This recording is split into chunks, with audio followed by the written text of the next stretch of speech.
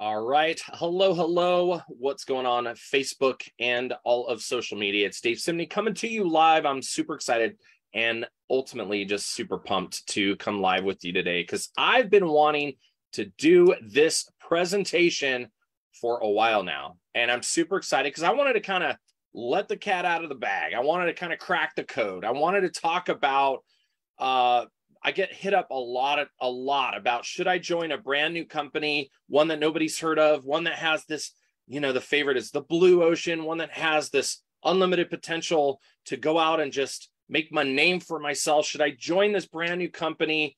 Um, what are the pros and cons? Or should I stick with, you know, an established company that's really got through the hurdles of the startup phase and, and all of that? So I wanted to break it down today um, and just tell you about the pros of, and cons. If you're in um, any type of business, this will probably apply to you, but specifically in the space where I've resided for over 15 years in the direct sale sales space, uh, social selling space, um, aka network marketing, MLM, whatever you want to call it. So here I am to tell you why. First of all, I want you to know there are a lot of gurus out there. Okay, there are a lot of coaches, a lot of mentors, a lot of leaders.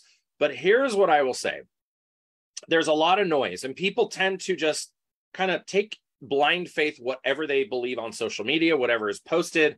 Um, and there's a lot of people out there that don't have a lot of experience. So I always love when when I do some type of a, a live or a presentation, um, or I speak at the company or, or wherever I'm at. I like to establish establish, you know, why I'm qualified to even give this opinion, right? Because I think it's important who we're listening to, right? You don't want to listen to um, someone who's broke um, talk about finances, right? You don't want to listen to someone that's never worked on a car um, about mo- what might be wrong with your car. So it's just common sense to understand. Um, so I'm 47 years old. Um, again, my name is David Ciemny. I have been um, a former corporate ex- corporate executive and employee number three um, of a startup. So I've been through that phase uh, in the direct sales industry. Uh, we went from zero to um, uh, over 100 million in uh, about seven years. So we, we did a pretty good thing. I also served uh, on the corporate team of a company uh, also in the direct sales space that went from less than a billion dollars to $3 billion in three years. So I have the corporate direct sales experience on the corporate side. Um, I just celebrated six years in the field, as we call it, meaning not on corporate. I transitioned out in 2016. Um, I've been an expert witness in the legal field to uh, some major celebrities. Um, probably the biggest pop star, well, multiple biggest pop stars in the world, although I have an NDA, so you won't be hearing the names. Um, I've been a tour manager uh, to several uh, gazillion dollar organizations uh, from Lady Gaga uh, to Lauryn Hill and everywhere in between. I'm an investor and uh, I started my career um, in the pages of Rolling Stone magazine as a musician opening for Metallica, believe it or not. So I've got a diverse experience. I've also been to college and um, graduated uh, at the top of my class. And so I have been out there hustling every day. I'm hustling. I've been out there for a long time. So I do feel qualified to talk about what I'm going to share with you. So, question at hand today is Should I join a new company?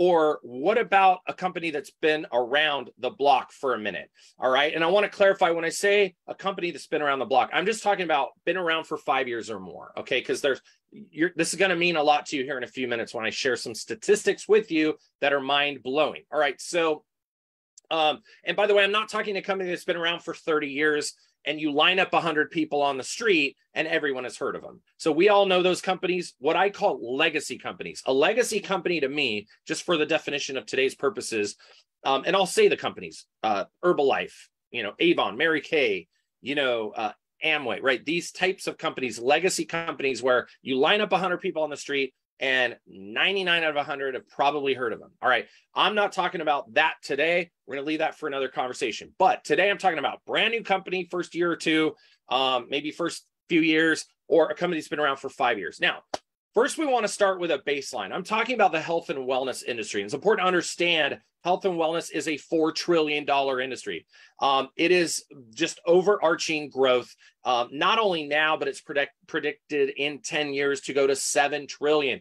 50% growth globally. All right, now the direct sales industry, and I want you to follow me here. You should probably jot this down if you're very serious about looking into this space. The direct sales industry um, is about $200 billion, and it's growing at about 5% year over year. Now that's great, but the personal care industry is 500 billion. If you can include the global beauty and the global personal care industry 500 billion half a trillion and it's growing at 7.5% year over year. Collagen 17 billion dollars growing uh, year over year 15% now direct sales here's what i want you to, to take away from this the direct sales portion of the entire health and wellness industry this is going to shock you the direct sales industry meaning the market share of customers, 45 million buyers and customers right here in the US, is literally only 5% of the entire health and wellness market.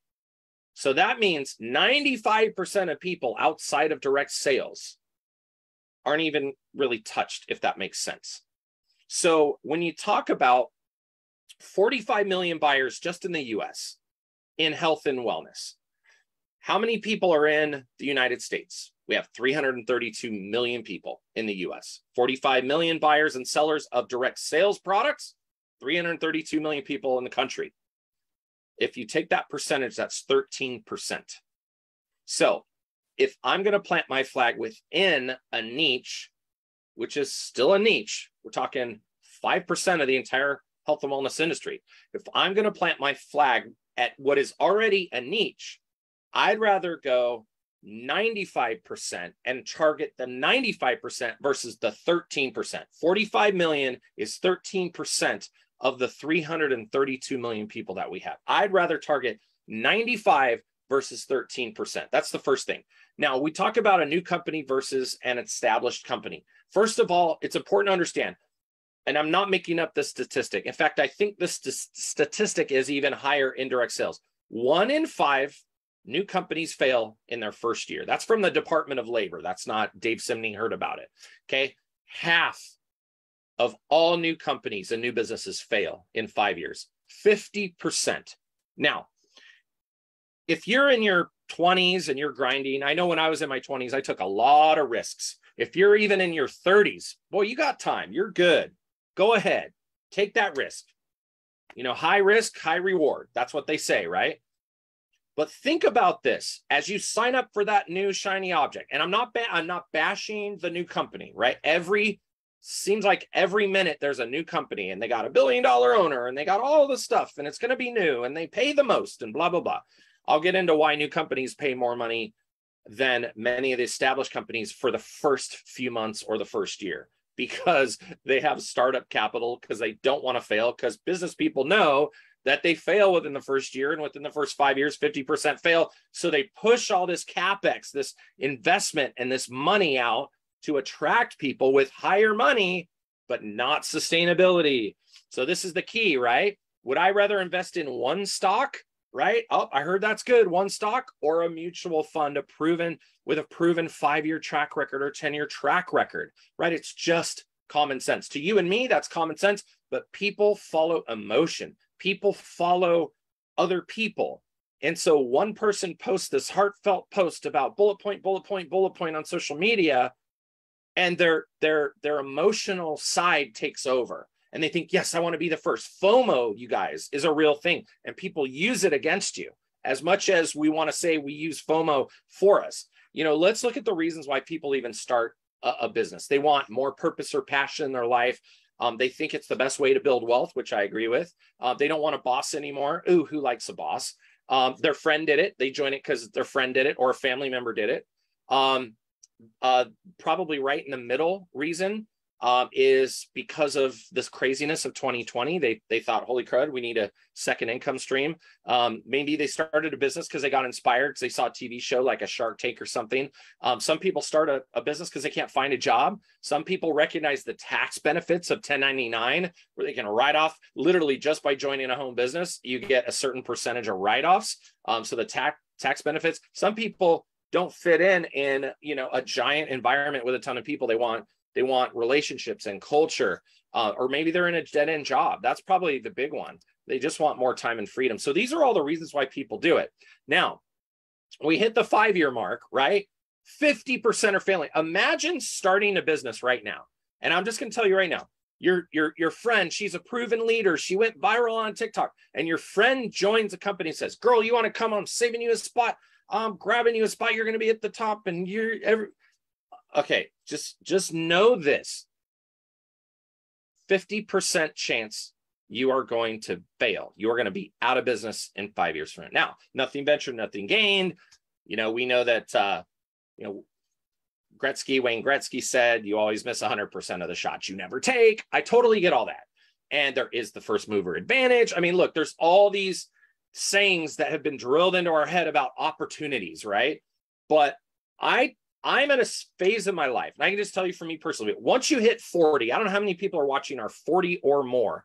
Drop a hand. Let me know in the comments if you're 40 or more. When you hit 40, that's like a line in the sand.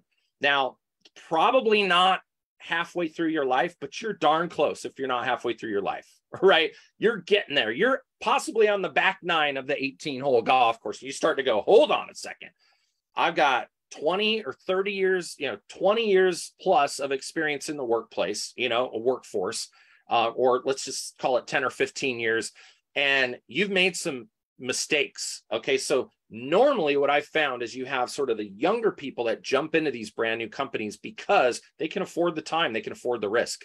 But here's what I'm going to say for those of you um, that understand business, all right, if you want to look at an established company, you want to look at the um, the the bullet points that are super super valid. So I'm going to speak specifically about my company for just a minute because I know the mistakes that these small new companies make. They put way too much money out front to attract people. And then after three months, six months, or a year, the money runs out because they're paying very high out of their compensation model, right? And they have to change the compensation. Or the other thing they do is they put these big bonuses up front for your first order, second order, maybe even third order. And then what happens? They chop the percentage down by month number three or month number four, and they pay you either half or a third or maybe even one fourth of what you got in the first two or three months. Now that is a what I call a pop and drop. All right. So that's where you have this big lead up and pop. How many of you guys have heard of these companies in our direct sales space that have shot up to the top and everyone was in and everyone's making money and I'll post on the leaderboard. I grew, you know, 100%. It's easy, by the way, to grow 100% or 1000%. If you go from one to 10 people on your team, you just grew a thousand percent. So that's easy. Try being at a, a $2 million a month organization and growing 5% year over year consistently for 10 years. I'm going to tell you that's where I would rather be than somebody that has one or two products that are creating a lot of buzz and then boom, everybody falls off and the wheels fall off the wagon and you've only got one or two products so nobody you can't fall back on any other products right so a bigger company is going to have a bigger product line a diverse product line what we call sticky volume they're going to have more products that people want and need, different niches for riches, different verticals, right? Uh, especially if they're made in the USA, like my company, you're going to have advantages because you're going to have something for everything. You're going to have something for everyone. Now, you say, well, people have heard of that. I will tell you this I'm going to challenge you to take it, even not the name of my company, but just take my company's called Modere. I'll just let the cat out of the bag. My company, if you lined up a hundred people on the street randomly. Hey, have you heard of Modere? Have you heard of Modere? Have you heard of Modere? Literally, guys, two or three people, maybe out of a hundred, have heard of Modere. It's just that because this industry is pretty small and the people who work, remember, direct sales is only 5% of the entire health and wellness industry.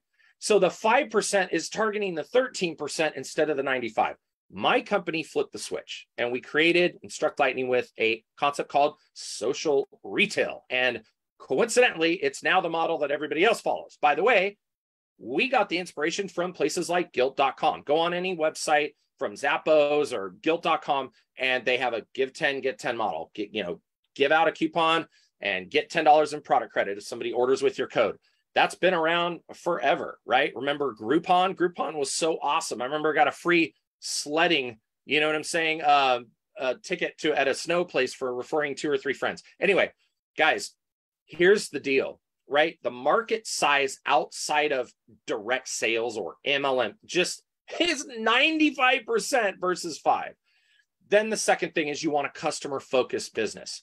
When you've got a whole bunch of people jockeying for position and they're over here selling their thing, selling their thing, they cannibalize their own business. What you want is you don't want to have a business within the MLM exclusively. You want to target, like I said, the 95. You want to target 330 million people, not 45 million people. Do you follow me? So, this is the advantage of having a company that's been involved five years or late. They've worked out the kinks after five years. They've fine tuned the machine. They're they've got the product line. They have the leadership. They have the compensation. And here's another statistic that'll blow your mind. And I worked on both types of these multi-billion dollar companies. The distance from zero to 500 million is about eight years, you know, five to eight years for a very successful company. If your company's been around for five, six, seven, eight years, and they're squeaking out at 20 million, 10 million, a million, you know, a hundred million, you got to ask yourself, what's going on here? Like, you know, if you're thinking big and you want to have a sustainable uh, business for your family and a legacy business, you need products with the highest reorder rates on planet Earth. Okay, that's what we have. I mean, you talk about 80% plus reorder rates. That is massive. You want a company that's got between 13 and 17 customers for every marketer.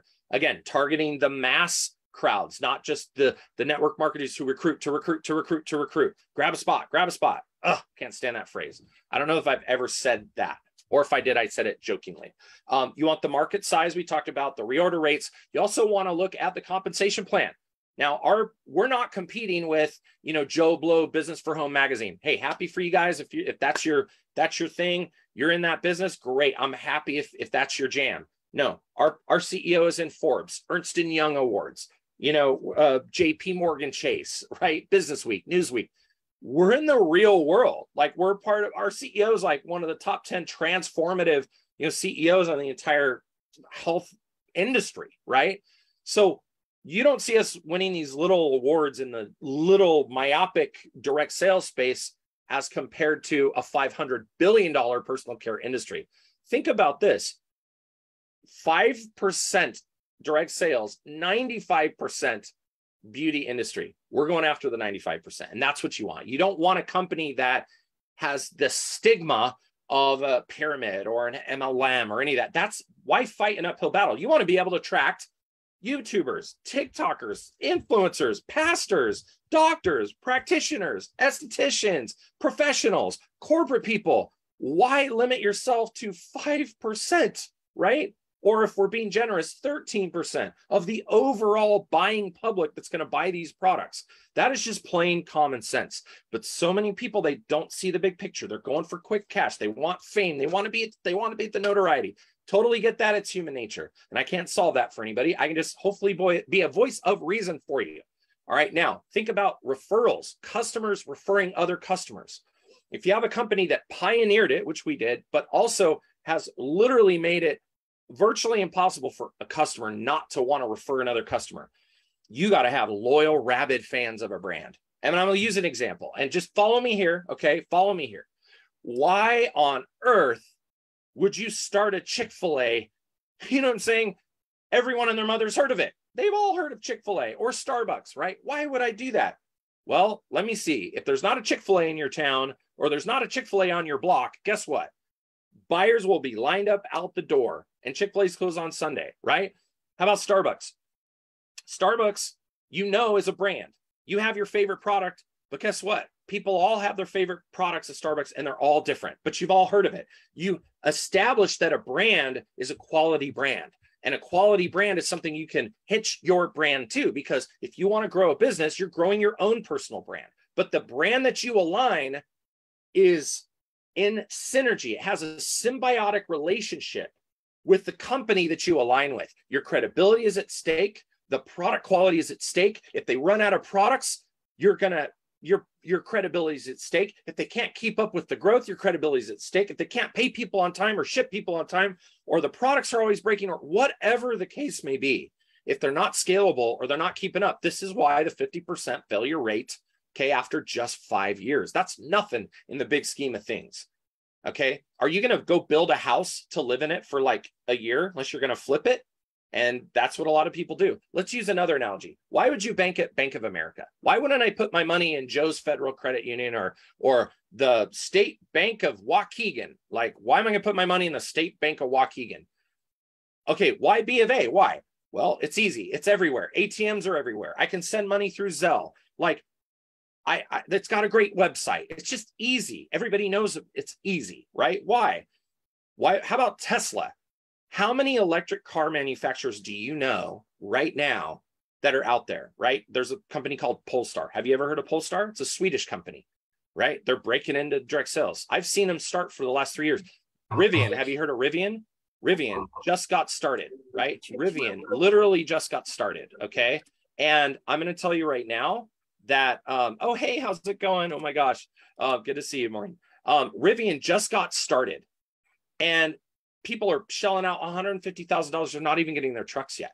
So, what I'm going to share with you is this why would Tesla, who sells a million cars a year now, they're the biggest car brand on earth with the richest man on earth. Why would you go buy a Tesla? Well, you're probably thinking, you know what? Either if you don't have a Tesla, I bet you wouldn't turn down a Tesla. It's a desirable, hot, smoking product that you want. That is what you want, you guys. If you hear nothing else today, hear this. More millionaires are created after the five-year mark with billion with with billion dollar companies. All right. So when you talk about a Tesla, there's a brand desire. Why try to reinvent the wheel? Why go out there and take such a massive risk for your family, for your friends? This is my opinion. These are the pros and cons. Now, I said pros and cons. I'll give you the pros. I've already touched on them. The pros would be you know, like I said, first mover advantage. There's a small, tiny percentage that you may end up with just a long time life legacy business. But I'm going to tell you, someone who has been involved in a startup, we didn't even get to our stride in five years. Every problem you can imagine happens with a startup, and it's not fun. So I wouldn't wish that on my best friend. And if you ask me again, would I ever do a startup? The answer is unconditionally, absolutely not unless I had to, unless I was forced to. So, guys, you have options when you're choosing a company, you have options when you're choosing a team. Here's what I want to share with you tag your teams if you got value on this, tag anyone on this, or share this with them if they're thinking about what company they should look at, what company they should join. I am not here to bash any company specifically. I'm not here to bash my industry. I'm here to show you the bigger picture, the 30,000 foot view based on my 15 years of experience. Um, I've had enormous success in this industry. I can't tell you how much I've earned, but let's just say I've had enormous success and been blessed more than you can imagine. And I will just say this your future does matter, your family does matter. The decision you make right now does matter. So I want to encourage you please make the right decision, right? Get on the phone with as many people as you can, talk to as many people as you can outside of the company that you're looking at. Don't just talk to the people that want you to join their company. Talk to other people in the industry that are established. Pick their brains, right? Find out what they went through before you just jump in because a friend posted on social media, this is our new home, grab a spot. All right, guys, have a great day. Thanks for watching. I'm Dave Ciemny. Let me know if you got some value or if you're watching the replay, hit replay, but please put value on there and share this with someone that might be looking for a new home in the direct sales social selling market. Thanks for joining me. Have a great night. Bye, everybody.